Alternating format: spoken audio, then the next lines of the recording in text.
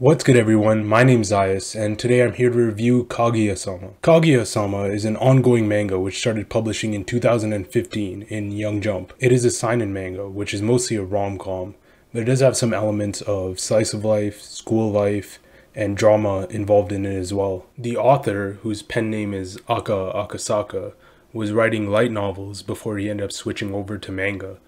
And afterwards, he ended up writing IB, aka Instant Bullet, as well as Sayonara Piano, both of which I found to be just a little bit bad. Although I didn't really like some of his works, I, knew that he was a big School Rumble fan. He actually had written School Rumble dojins in the past. And now, if I know anything, every good mangaka who writes rom-coms like School Rumble, like the other rom-com I reviewed right here, uh, this this author does as well. And on top of this, he actually mentioned in an interview that he was a big Sayonara Zetsubo Sensei fan. And after reading this, you can definitely see the similarities in their comedy styles. In 2020, he actually ended up starting Oshi no Ko, which nowadays is very popular. So that was a massive success for him. Although it wasn't really up my alley again. Unsurprisingly, I didn't really enjoy Kaguya-sama at first but eventually I actually started to enjoy it a lot more, especially in the later parts of the series. I'll try to get all the bad out of the way really quickly, because that is how the series starts. The one thing I really did not enjoy, especially at the beginning, was the whole love is war slant that they put on this thing. And it ends up just feeling like some sort of gimmick. It feels as if Akasaka is doing this so that he can make his manga unique from other rom-coms in some way by saying, oh, they're not in love, they're at war but this kind of just makes the characters feel super annoying and condescending at times even. On top of Kaguya and Shirogane feeling like annoying middle schoolers, the jokes at the start really weren't as funny as they were later on. A lot of these just like killed the mood for me and I didn't want to read on at certain points because the jokes were that bad. Of course, not all the jokes missed at the start and you can even see a glimpse of potential with a couple chapters like chapter 6 and I think chapter 12 having some actually really funny jokes. And the art style is actually good as it has been in his previous mangas.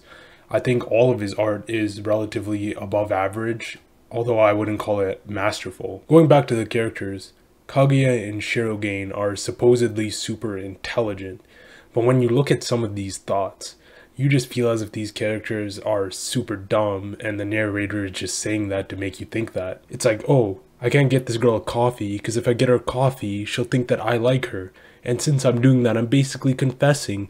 And since I'm confessing, I'm losing the war. And I can't lose the war because you need to dominate or something stupid like that. And the narrator will just keep rambling on and on about these incoherent, stupid thoughts just nonstop. And there was the whole thing about how all of these students are going to become the leaders of Japan. It's like, huh? Like, because you went to a high school, you're going to become president? Yeah, good luck with that. And not to mention, there's the reoccurring how cute gag, which I feel as if the only intention of it is to piss me off. Other than Kaguya and Shirogane, Fujiwara is also introduced, but as a character, she's mostly just there to look cute and make some jokes every here and there which are funny at times, but she doesn't really have much in the way of character. When Ishigami is introduced is when I thought the series really got rolling. He is pretty much my favorite character in the series from when he was introduced all the way throughout his character arc, and he has one of the best character arcs in Kaguya. Did I say one of the best? I meant the best. He's definitely the funniest character when he's introduced. He breathes a lot of life back into the series, there's a lot of funny jokes which happen in the chapters after he gets introduced. However, there's a small drop off afterwards. But after this, the manga's never really bad. It's just sort of dull at times. This may just be me not appreciating slice of life elements in a manga as much as other people do. I'm not a huge slice of life fan. But if you do like slice of life, you might like this part of the manga much more than me. Around chapter 50 is when I found that the main couple start to get more likable. They started acting like normal kids, living everyday lives rather than some stuck up, arrogant snobs.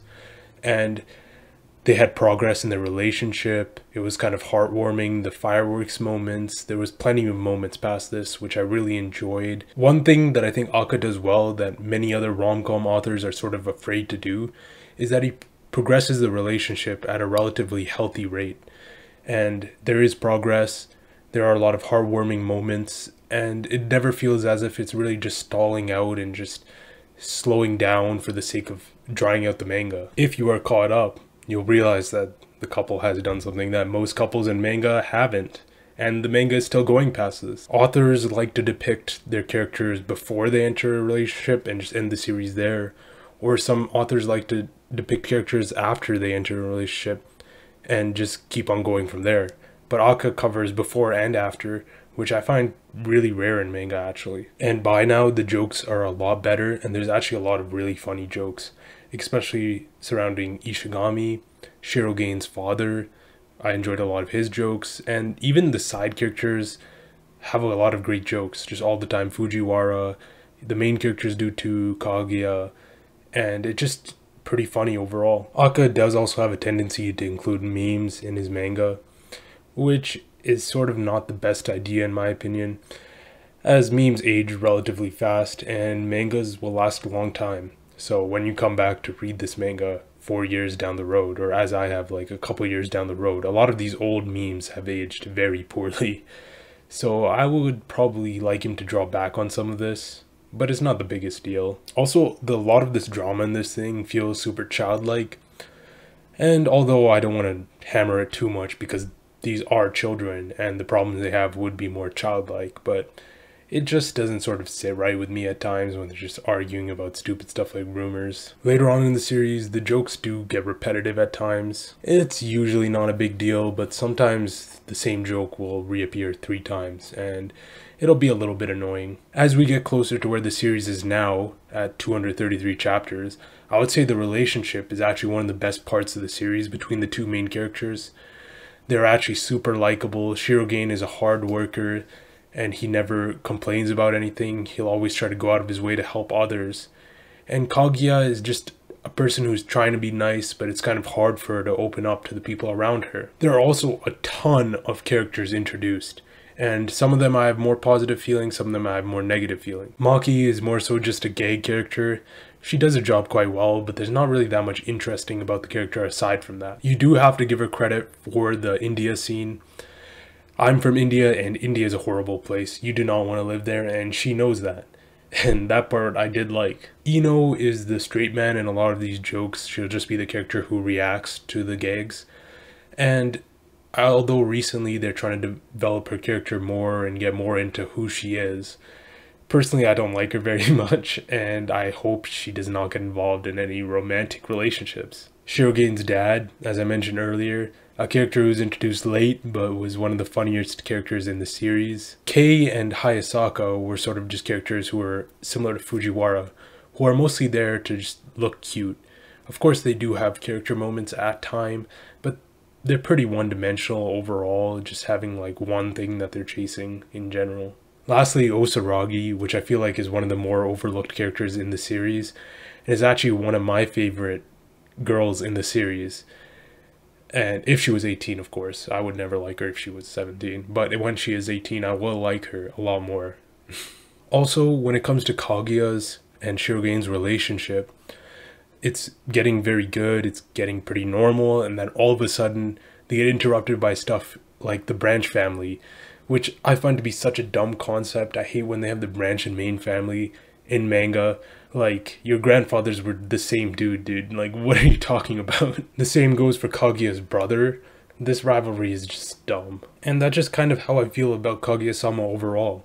There are lots of great moments where it's beautiful, there's a lot of romantic progression and stuff like that. And then there are moments where you're just like, huh? What was the author really thinking with this? And although there are highs, there are also a lot of sort of middling moments. But the further you go on in the series, the more great moments you will find and the less bad moments you'll find. The relationship gets a lot smoother with a lot better dialogue. The art actually improves on top of already being good. I found that the characters' lines felt a lot sharper and the characters felt more well defined and had more personality expressed through their character design. But if you're looking for great backgrounds, obviously don't come to Kaguya sama, there's not much of that. Going back to my favorite part of the series, Ishigami's character development. it actually kind of blindsided me. I didn't think that Ishigami would be developed as a character at first. When I first read the manga, I thought he was just there for gags. We learned soon after that Ishigami is actually one of the kindest characters in the series and goes, goes out of his way for other people, even if they don't return anything back to Ishigami. He's lived with the consequences of this for a long time, and he hasn't even cracked once. He tries not to care too much about what other people think about him. He constantly tries to improve on himself he works out, he eats healthy, and he even manages to work up the courage for my favorite scene in the manga, where he asks out Tsubame. I felt as if the scene was super emotional, there was a lot of build up, there was a ton of tension. The scene really hit hard afterwards when you see Ishigami crying by himself alone. It fits Ishigami's character perfectly. He'll take on the brunt of the trauma just so that she doesn't have to feel uncomfortable. And then the worst part of the series comes shortly after, where Ishigami mentions he plays Apex Legends, and all of a sudden I don't feel bad for him because he plays a really garbage game.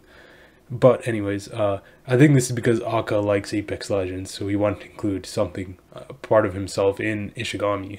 And the whole time, while Ishigami is playing Apex Legends, Shirogane's sugar daddy Dilf, God Gamer, is playing GoldenEye, like a real gamer. And in most series, I don't normally do shipping at all, but in this series, I really hope from the bottom of my heart that Osaragi and Ishigami get together. I just really hate Iino and I really like Ishigami, so I hope he isn't stuck with her. Please, Aka, if you're watching this, let them get together. Overall, at the end of the series, there's so much improvement from the beginning that I find it kind of insane. If I were just reviewing the first 100 chapters of this thing, I would hate it. But now, here we are at like 233 chapters, and the series has gotten so much better. Of course, this isn't a perfect series by any means. There's still tons of things holding it back with dull moments here and there and repetitive jokes. But overall, it's actually a very, very, very solid series, and I would actually recommend this to a lot of people. I'm feeling a decent to strong 7 on this thing. And thanks everyone for watching. Uh, like and subscribe. I'm thinking of doing between JoJo's, Saltiness, and um, my dress up darling next. So all those three reviews are probably coming out in the next three sometime. So look out for that. Like, subscribe, comment, everything. Thanks everyone. See you later.